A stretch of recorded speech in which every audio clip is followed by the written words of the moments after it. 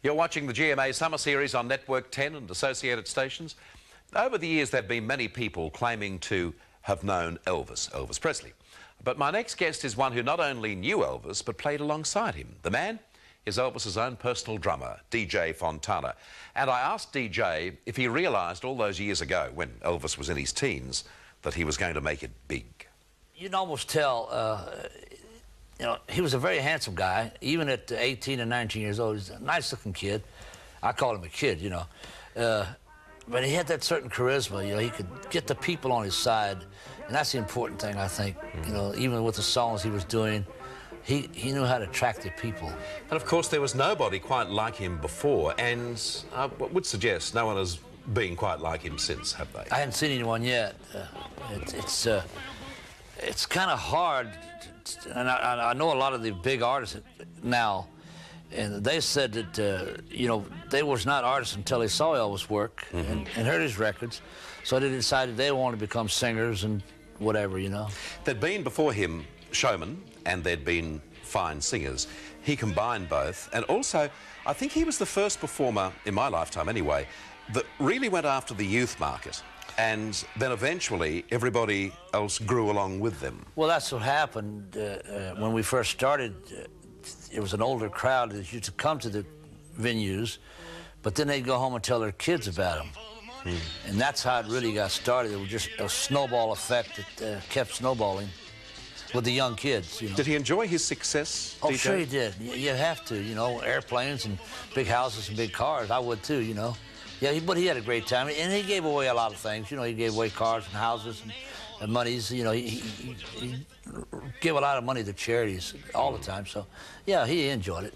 A lot of people try and paint the picture that for most of his life, certainly in the spotlight, that he was he was on a downer for most of the time, and that just doesn't appear to be true. No, I, I never saw him unhappy, actually. Uh, when he did get unhappy, it was around the time him and Priscilla broke up, you mm -hmm. know. I was going to ask you, she was pretty important to him. Oh, yeah. She? They were, of course, husband and wives and all that stuff, but they're also good friends. Because I talked to him about it later, and, and uh, it, when he would get in trouble, he thought he was in trouble with some kind of, was bothering him, well, he'd jump on his jet and fly to California. They'd sit down, talk four or five hours, and he was happy. He'd come back to Memphis. So. This is even after the separation? Yeah, they were separated and divorced, actually. Mm. But he would fly out and see him and... And, and, just sort of chew the fat? Just chew the fat yeah. and see what she thought about this idea and that idea. She was... How did you come into his life, or how did he come into your life? Well, it was down in Shreveport, Louisiana. Uh, there was a show called the, uh, the Louisiana Hayride, actually. And uh, it was like the Grand Ole Opry is today. Yeah. And uh, I just happened to be there by accident. I was on the, the house band, so-called house band. And uh, they asked me to work for them. I said, sure. And they asked me to come back two or three weeks later. And, in a row. And I said, yeah, yeah, yeah, we'll do it. And then they said, well, we're going to go here to Texas and do some more work. Would you want to go with us four days? I said, sure. Got back to uh, Shreveport. He said, well, now we're going to go home. We hadn't got a date booked forever. Mm -hmm. We may never get another date. He said, but would you work with us if, in fact, we did? I said, be happy to. So it was kind of a gradual uh, thing that happened, you know. Was he intelligent musically?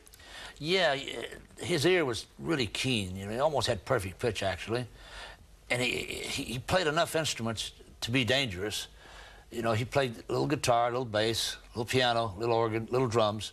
So he could explain to you what he wanted, and if he, if he wasn't clear, he'd sit down and show you what he wanted. Mm -hmm. So mm-hmm. yeah, he was he was very good at it. Did he have much control over his career, or Colonel Parker looked well, after Well, he had all things? the control in the studios. What artistically? Yeah, he did it all.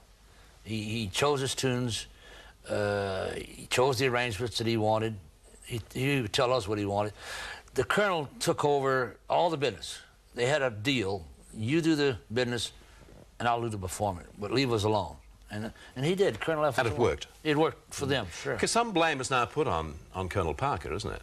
Well, a lot of blame is put on that guy, you know, and uh, I didn't really like the guy, to tell you the truth, but uh, you, I had to give him credit. I, I, thought about it and thought about it after all these years.